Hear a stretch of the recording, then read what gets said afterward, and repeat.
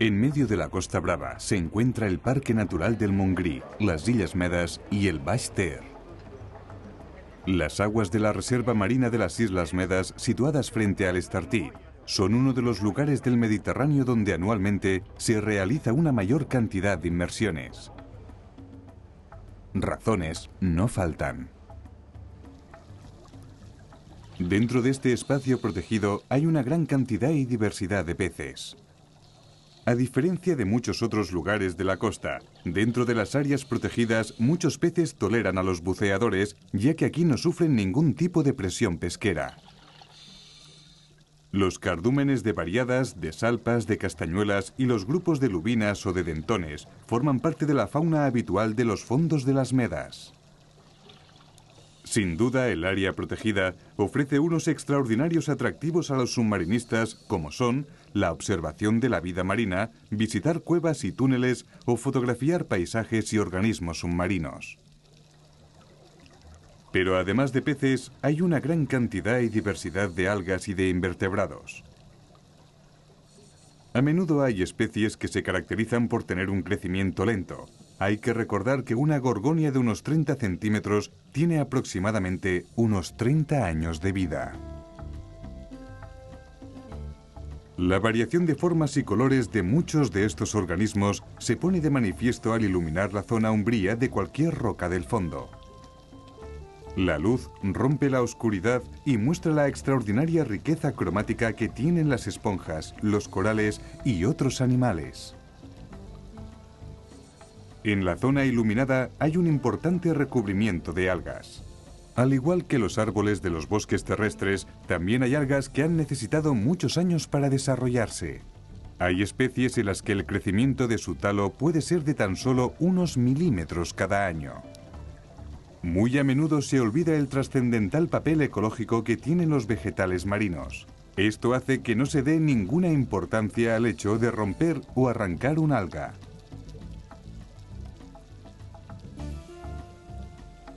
Las algas y organismos invertebrados coloniales que están adheridos al sustrato crean muchos microhábitats donde viven una gran cantidad de pequeños animales que a menudo tan solo son visibles a los ojos de los expertos. El recubrimiento biológico del fondo forma una especie de bosque submarino que a menudo tiene menos de un metro de altura. Debido a la gran cantidad y diversidad de organismos que viven aquí, estas comunidades marinas tienen una importancia ecológica extraordinaria. Pero una parte de este tesoro submarino se pierde cuando un buceador golpea la roca con las aletas o con la botella, por ejemplo, o bien cuando arrastra por el fondo cualquier elemento de su equipamiento. Un regulador mal colocado, un manómetro o una linterna pueden tener el mismo impacto ecológico que un golpe de aleta, ya que también van rozando por todas partes y pueden romper los frágiles organismos marinos. Es fácil observar que los submarinistas poco diestros y sobre todo los poco cuidadosos van dejando un rastro de organismos rotos, arrancados del sustrato o parcialmente despegados. Es muy importante reducir las agresiones al medio marino que producimos los submarinistas cuando golpeamos a los seres vivos, al cogernos a ellos o simplemente al tocarlos para mirarlos.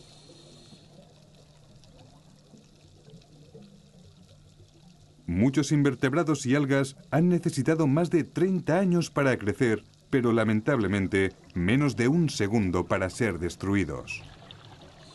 Esto contribuye a la progresiva desaparición de las especies que tienen un crecimiento lento, como son los corales, las gorgonias, los briozoos o las esponjas. Evidentemente, las causas de la degradación que actualmente sufren los fondos marinos son muy diversas. El submarinismo es una de ellas y precisamente no es la más importante, pero sí que es fácilmente evitable. Si durante la inmersión todo el mundo va con cuidado y es consciente de cómo hacerlo, se pueden minimizar mucho estas alteraciones. Debido a todas las agresiones que sufren los fondos submarinos, se van simplificando y degradando. Esto se acelera en los lugares más frecuentados por los submarinistas. A medio plazo este proceso puede significar que las espectaculares comunidades submarinas de nuestro litoral acaben perdiendo una buena parte de su atractivo. La solución a esta situación es muy sencilla y solo depende de nosotros. Tingueu en compte que és parc natural, per tant, eh, intenteu no tocar les roques, que hi ha moltíssima vida, d'acord? Si teniu algun problema podeu descansar un moment, sempre controlant amb un dit, i si no, si plau, per lo blau. Exacte, flotació neutra, d'acord? En la conservación del medio marino hay que destacar el papel que juegan los guías y los monitores de los centros de inmersión. Es muy importante que los briefings previos a cada inmersión recuerden a los clientes cuál es el impacto del submarinismo sobre el medio ambiente marino y la manera de actuar para que esto no se produzca. El primer paso para lograrlo ya empieza al principio de la inmersión, estando en la superficie, mientras esperamos que salten al agua los compañeros de inmersión. Aquí hay que tener bien hinchado el jacket. Esto evitará esfuerzos innecesarios que hagan iniciar la inmersión con cierto cansancio. El descenso se debe hacer despacio, controlando la flotabilidad para evitar bajar demasiado rápido e impactar contra el fondo. El problema medioambiental del submarinismo deriva de la destrucción involuntaria de los organismos bentónicos. Para minimizarlo, se deben tomar todas las precauciones posibles. La más importante es la de mantenernos separados de las rocas y de las paredes. Muchas veces no somos conscientes de los golpes que damos, por eso de vez en cuando hemos de mirar hacia atrás para comprobar que nuestro aleteo no está levantando los sedimentos del fondo y no golpeamos con nada. En zonas horizontales es importante conservar la distancia mínima de un metro del fondo y mantener el cuerpo en posición horizontal para evitar que las aletas contacten con el sustrato. Igualmente en una pared vertical debemos estar separados de ella también a la distancia mínima de un metro y se debe controlar la flotabilidad para no tener que mover las aletas más de lo estrictamente necesario, reduciendo así el riesgo de impacto. El hecho de dar alimento a los peces tiene afectaciones importantes en el comportamiento y en la dieta de estos animales, poniendo en riesgo incluso su salud. Por eso está totalmente prohibido hacerlo dentro del parque natural.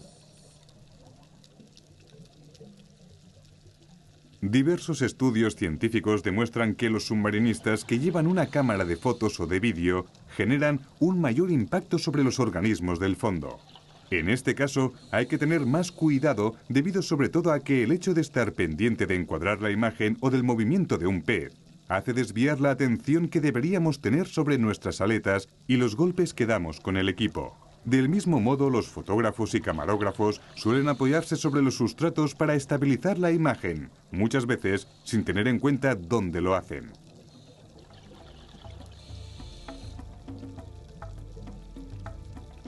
Las cavidades submarinas siempre tienen un gran interés. Las comunidades faunísticas que encontramos en las cuevas están adaptadas a vivir en ambientes muy estables. La presencia de submarinistas durante mucho tiempo puede alterarlas de manera importante. Al entrar en las cuevas o túneles es mejor hacerlo en grupos reducidos y se tiene que estar poco rato. Aquí las burbujas de aire afectan a la fauna que hay en el techo y además de ello se incrementa considerablemente la probabilidad de impactar contra las paredes, el fondo o incluso el techo. Al visitar comunidades sensibles con bajas tasas de crecimiento como las cuevas o el coralígeno, hay que extremar las medidas para controlar nuestro comportamiento y así colaborar en la conservación de muchas especies amenazadas.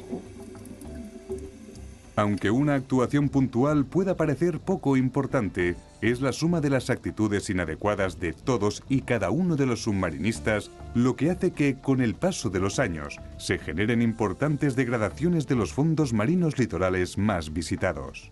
Si trabajamos en generar hábitos que mejoren nuestro comportamiento durante las inmersiones, podremos contribuir a la conservación del patrimonio natural que debemos dejar a las generaciones futuras. Como cualquier actividad humana que se efectúa en contacto con la naturaleza, el submarinismo tiene su impacto sobre el medio. Por lo tanto, debe procurarse que ésta sea una actividad de bajo impacto ambiental y ecológicamente sostenible.